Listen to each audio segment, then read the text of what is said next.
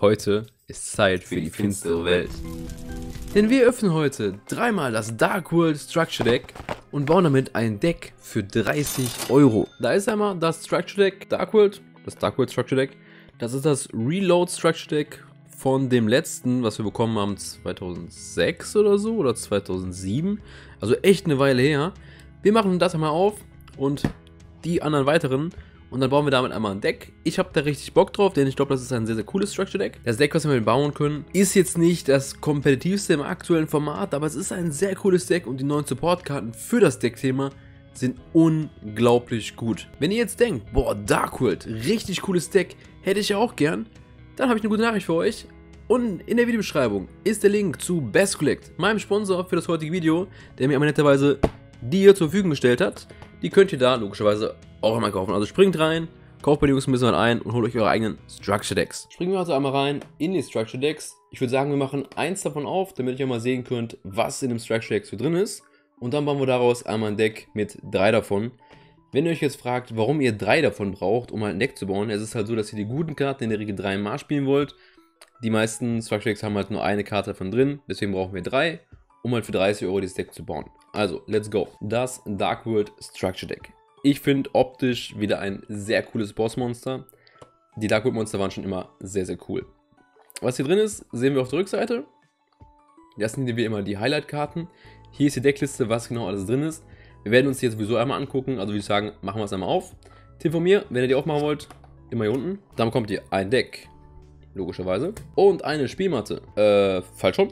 Und auf der Spielmatte ist einmal Graffa drauf. Unglaublich cool das neue Monster, was keiner spielen wird. Und das neue Monster, was wahrscheinlich nicht nur in Dark World gespielt werden wird. Cool, cool. Und hier hinten habt ihr so einen kleinen Combo-Guide, falls ihr nicht wisst, wie das Deck funktioniert. Und da sind so Karten, die man in dem Deck theoretisch spielen kann. Ultimate Slayer auf jeden Fall für das Deck ultra notwendig. Nicht, by the way. Dann springen wir doch mal rein. Machen wir das einmal auf. Und hier ist es einmal das Structure Deck. Wir fangen einmal mit der neuen Karte an. Die hier ist sehr, sehr cool. Ihr habt die Möglichkeit, mit der, wenn die abgeworfen wird, ein Level 5 oder höher Darkhold Monster zu suchen. Und das ist nicht für uns Return. Und die kann sich vom Friedhof spezial beschwören, indem ihr ein Darkworld Monster Level 7 oder niedriger von eurem Feld wieder auf die Hand zurückgibt. Das heißt, das ist einmal die erste Karte. Und weiter mit der Puppenspielerei der finsteren Welt. Ist eine sehr coole Karte, die kann drei gegnerische Karten aus dem Friedhof verbannen und dann könnt ihr eine Karte diskarden. Die ist sehr cool, werden wir den Deck aber nicht spielen, weil die halt nur Go Second wirklich super relevant ist oder Go First, wenn ihr gegen irgendein Deck spielt, was im Friedhof arbeitet. Aber eine sehr gute Karte auf jeden Fall. Haben wir einmal Archive der finsteren Welt. Das ist eine sehr gute Karte und das ist auch eine der einzigen Dark World Karten, die once per turn sind. Die Karte, damit können wir eine Karte diskarden, können unser Dark World Monster ein bisschen stärker machen, was ganz cool ist. Und wenn ein Dark World Monster auf Friedhof gelegt wird, also ein Fiend Monster, dann können wir eine Karte abwerfen und nochmal zwei Karten ziehen. Das ist also ziemlich cool. Ist wieder aber once per turn und wir müssen für den ersten Effekt leider ein Monster konsolieren, weil wenn ihr keine Dark Monster habt, könnt ihr auch keine Dark Monster pushen. Ich finde die optisch übrigens sehr, sehr schön. Dann haben wir das neue Bossmonster. Der heißt witzigerweise auch Graffa. Graffa, das Bossmonster. Oh, guck mal, wie schön der Glitzer ist. Der nicht wunderhübsch. Eine unglaublich coole Karte, für alle, die nicht wissen, was die Karte tut. Die hat zwei Fähigkeiten. Wenn der Gegner einen Monster-Effekt aktiviert oder eine normale Zauberkarte, können wir den Effekt umschreiben. Zu dem Effekt, der sagt, der Gegner wirft eine Karte ab. Also der Gegner sind in dem Fall wir. Das heißt, wir werfen eine Karte ab. Die ganzen Taco-Monster, für alle, die es nicht wissen, die haben einen Effekt, wenn die abgeworfen werden durch Karteneffekte. Heißt, der kann die quasi triggern und das ist dann durch einen gegnerischen Karteneffekt getriggert worden. Und dann kriegen unsere ganzen Taco-Monster nochmal extra Effekte, was ziemlich cool ist. Und der zweite Effekt ist der, wenn die das Feld verlässt, dann können wir uns einen Gruffer, also den originalen Gruffer, vom Banish Pile oder vom Friedhof spezial beschwören, was halt ziemlich cool ist. Hier haben wir einmal hier Amtsantritt der finsteren Welt. Das ist einmal die Fusionszauberkarte, um das Ding zu beschwören. Die ist an sich auch ziemlich cool, die hat auch zwei Effekte. Ihr könnt, wenn ihr mit der Fusionsbeschwört, das ist by the way eine Schnellzauberkarte, also eine sehr gute Karte, könnt ihr anstatt Fusionsmaterialien vom Feld oder von Hand zu benutzen, auch Monster vom Friedhof banishen, vom Feld banishen oder von der Hand abwerfen. Heißt, die würde auch eure ganzen Dark-Monster triggern, was sehr, sehr cool ist. Haben wir einmal Genta, Torhüter der finsteren Welt. Die ist auch sehr, sehr stark, ist eines der besten Support-Monster, was wir bekommen haben, denn wenn wir die Karte von Hand nehmen und die abwerfen, können wir uns die Spielfeldzauberkarte suchen, was ziemlich gut ist. Und wenn die verbannt wird vom Friedhof, dann können wir die spezial beschwören einmal pro Spielzug. Die ist leider auch turn. Es ist schade, dass die Legacy von Dark World so ein bisschen in Vergessenheit geraten ist, aber hey, ist once per turn. Haben wir einmal Pal, Einsiedler der finsteren Welt. Der Effekt von der Karte ist an sich auch gar nicht so kacke. Es wird nur nicht so oft auftreten. Deswegen werden wir über die jetzt nicht sprechen. Die werden wir auch im Final Belt nicht spielen. Deswegen ist der Effekt erstmal nicht ganz so relevant. Aber lest euch gerne durch, denn hier steht der Effekt. Viel Spaß dabei. Dann haben wir einmal Bestrafung der finsteren Welt. Eine Counter-Trap, die eine Beschwörung anlehnen kann. Und dann können wir eine Karte diskarden. Das ist eine sehr gute Karte und eine sehr hübsche Karte, wenn ihr mich fragt. Mal gucken, ob wir die im finalen Bild spielen. Vielleicht einmal. Haben wir einmal den Oberherr der finsteren Welt, den werden wir nicht spielen. Lucent werden wir auch nicht spielen. Dann Latium, den werden wir auch nicht spielen. Gold, den könnte man theoretisch spielen, wenn man wirklich halt alles auf Go Second auslegt, damit man mehr Monster aufs Feld kriegt. Aber er ist eigentlich nicht worth it, den zu spielen, weil die anderen Karten einfach besser sind. Nämlich Silver zum Beispiel. Das ist ein bisschen die Karte, die ihr auf der Hand halten wolltet für den gegnerischen Spielzug mit dem, mit dem Grapher hier. Mit dem hier. Damit wir den durch den gegnerischen Karteneffekt abwerfen können. Denn dann kann der zwei Karten von der gegnerischen Hand ins Deck zurück müssen. Also unter das Deck legen. Also ziemlich gute Karte. Dann Bronn. Die Namen sind von Darkwood immer ziemlich geil. Dann Beige. Eine sehr gute Karte, nur leider nicht für das 30-Euro-Deck, weil wir keine Karten haben, mit denen wir ins Extra-Deck gehen können. Deswegen, na, schade. Haben wir einmal Bro, Jäger der finsteren Welt. Eine sehr gute Karte. Die zieht eine Karte, wenn die abgeworfen wird. Also sehr, sehr gut. Scar, eher nicht so relevant für uns. Kaki, auch eher nicht so relevant für uns. Gren, auch nicht so relevant. Chioli ist eine sehr interessante Karte. Denn wenn die abgeworfen wird, können wir die auf die gegnerische Seite beschwören. Und dann zwingen wir uns dazu eine Karte abzuwerfen, was ziemlich gut ist, weil das dann ein gegnerischer Karteneffekt ist. Und dann triggert wieder Silver. Und dann sagt wieder zwei Karten ab ins Deck. Dann Zugel, das neue Monster mit 1800. Cooles Monster, wird im Deck aber nicht vorkommen. Dann Renge, der war mit den großen Händen. Auch der wird nicht vorkommen, weil der hat einen dicken Booty. Dann Danger Bigfoot. Ich finde es immer noch krass, dass der hier drin ist, weil es halt eine sehr gute Karte ist. Also krasser Reprint auf jeden Fall. Die als Kammer zu sehen ist sehr wild. Genauso wie den Danger Donnervogel. Danger Mothman, auch ein sehr cooler Reprint. Und Danger Chukunoko. Chukunoko. Chukunoko. Tsuchinoko. So heißt die Karte. Mein Gott. Tsuchinoko, sehr cool. In dem Deck wieder ähnlich. Wir haben nicht viel, was wir ins Extra-Deck machen können, außer halt den Graffer. Deswegen werden wir die auch nicht spielen. Aber an sich, wenn ihr das Deck mit ein paar Extra-Karten spielt, spielt ihr auf jeden Fall. Ist eine sehr gute Karte. Haben wir einmal Lilith. Normal für das Deck. Genauso wie der sagenhafte Rabe. Auch ein Normal für das Deck. Aber eigentlich nicht gut genug. Den absoluten König Düsenjet, jetzt wird es schwierig mit der Aussprache, der ist ganz cool, wenn wir das Deck sehr Trap-Heavy spielen möchten, werde ich wahrscheinlich aber nicht machen. Dann Geschäfte mit der finsteren Welt. Coole Karte, ihr zieht eine Karte, der Gegner auch, wirft eine Karte ab. An sich eine gute Karte, natürlich im aktuellen Format ein bisschen kritisch, aber wir werden die Karte wahrscheinlich trotzdem brauchen. Haben wir einmal Ansturm der finsteren Welt. Die Karte ist ganz witzig, nur in dem Deckbild für die 30 Euro ist der nicht ganz so geil, weil wir das nicht so oft triggern können. Dann Zugang zur finsteren Welt, coole Karte, werden wir aber nicht spielen. Blitzgewitter der finsteren Welt wäre theoretisch eine Go Second Option, falls wir das Deck ein bisschen more Second ausbauen möchten. Ins Grab hinabziehen, optisch sehr coole Karte. Für alle, die die Karte nicht kennen, das ist das Ding, was von Call by the Grave quasi gecallt wird. Sehr cool auf jeden Fall haben wir Kartenzerstörung, eine sehr mächtige Karte. Haben wir die Kräfte der Finsternis. Ja, die kann halt zwei Dark Monster zurück auf die Hand nehmen, aber die ist halt einfach zu langsam, weil die einfach leider eine Trap ist. Dann Gehirnwäsche der finsteren Welt. Wenn ihr mehr Trap Heavy spielen möchtet, mehr Control, ist das eine sehr gute Option, aber wir gehen mehr auf Bum Bum. Deswegen spielen wir die jetzt nachher nicht mehr. Dunkler Nebel, auch eine sehr schöne Karte, wenn ihr mich fragt. Ist so ein schön, schöner angelegt. Hier ist einmal dann ähm, anderes Monster drauf, das ist nämlich auch Gold. Und das ist dann einmal Raiko und das ist auch Raiko. Das ist halt der Twilight Zone und das ist halt der Light Zone. Das ist ganz cool eigentlich. Dann Geistersetzung, eine sehr coole Karte damals gewesen. Mittlerweile ein bisschen genervt, deswegen nicht mehr ganz so geil. Dann Deck-Verwüstungsvirus, cooler Reprint. Für unser Deck leider nicht ganz so aussagekräftig, weil es halt wieder ein Trap ist, ein bisschen langsam. Aber wenn ihr halt ein Side-Deck baut, ist das eine sehr gute Karte. Dynamicious, ähnliches Beispiel, ist eine Trap-Karte, aber an sich eine sehr gute Karte, denn die triggert auch die Darkwood-Monster. Und hier haben wir einmal Skill Drain als Carmen. Sieht einfach komisch aus, wenn ihr mich fragt. Aber das ist Skill Drain, coole Karte, ein bisschen die Win Condition. Dann haben wir ganz am Ende, warum machen wir jetzt am Ende? Nochmal Graffer, das alte Bossmonster ist ein sehr gutes Monster. Dann haben wir noch einmal Snow, die Karte sucht jede Dark World Karte, also sehr, sehr krass. Und dann einmal die Tore der finsteren Welt. Und das war's schon mit dem Structure Deck. Spielt Master Duel. Woo! 7. Duelings könnt ihr auch spielen. Ihr könnt auch meinetwegen Technical Masters kaufen. Warum man das jetzt noch machen sollte, keine Ahnung, denn das Deck ist tot, weil wir Schieße bekommen haben. Okay. Dann würde ich sagen, springen wir mal ganz kurz rüber zum Deck-Profile. So, in dem Deck spielen wir dreimal dieses nette Bossmonster hier. Ich habe ja gerade schon erklärt gehabt, die Karte ist an sich insane. Die sucht was, Die specialt sich selber. Die ist auch Teil von der einzigen Combo in dem Deck, die an sich konstant viable ist. Eine Zwei-Karten-Kombo, die euch zwei Karten in die Hand gibt, die random sind. Und halt ein Search für den Graffer. Ist auf jeden Fall eine Karte, die man spielen sollte. Auch definitiv auf 3, weil es eine sehr gute Karte ist. Dann kommen wir zum nächsten Trio und das ist einmal Genta. Und Genta sucht uns einmal die Fieldspell. Und das ist eigentlich alles, was wir wollen. Wir wollen die Fieldspell haben und deshalb ist der gut.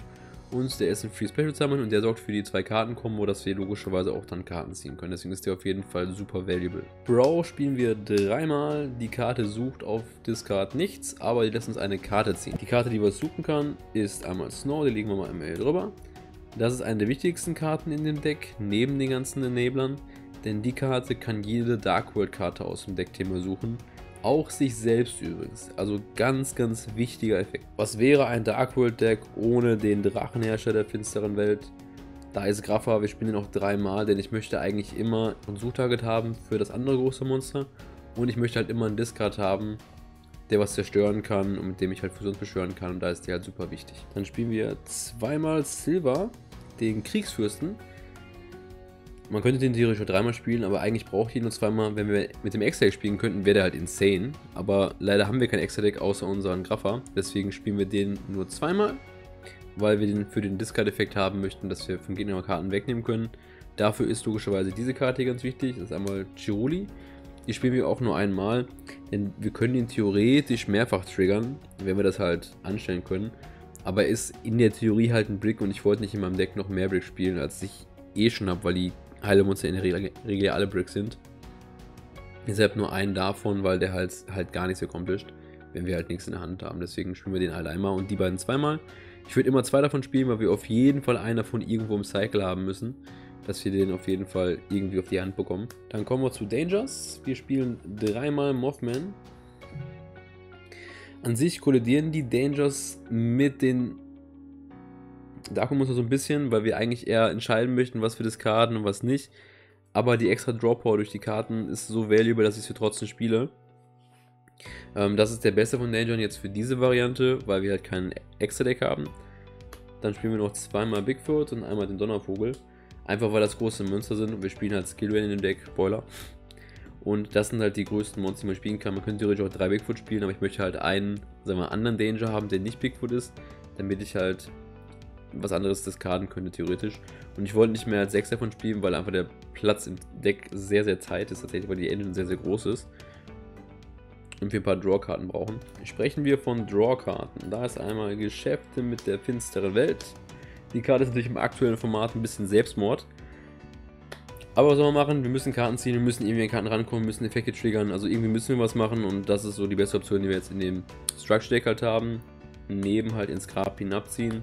Die Karte ist noch ein bisschen trickier als die andere, denn der Gegner kann entscheiden, was er das gerade. Das heißt, wir müssen die so ziemlich zum Schluss resolven. Ist also nicht ganz so geil, aber wir kriegen Informationen über die Hand unseres Gegners. Und das kann tatsächlich sehr hilfreich sein. Und wir bleiben bei Draw Power. Die Tore der finsteren Welt. Der pusht alle unsere Unterweltmonster um 300. Uhu, das ist der wichtige Effekt. Nein, der wichtige Effekt ist, dass wir ein Monster diskarden können. Und dann können wir einmal eine Karte ziehen. Das triggert die Dark World Monster. Und wir müssen einen Dark Monster vom Friedhof banishen. Das ist ganz wichtig. Also ein Fiend Monster. Aber das ist eine gute Karte, die ist auch nicht von return. Dann spielen wir einmal die Archive. Das ist eine sehr gute Karte, aber die ist per turn und die Karte macht alleine nichts, es sei denn, wir haben halt irgendwie ein Dark Münzer auf dem Feld, was wir normeln können.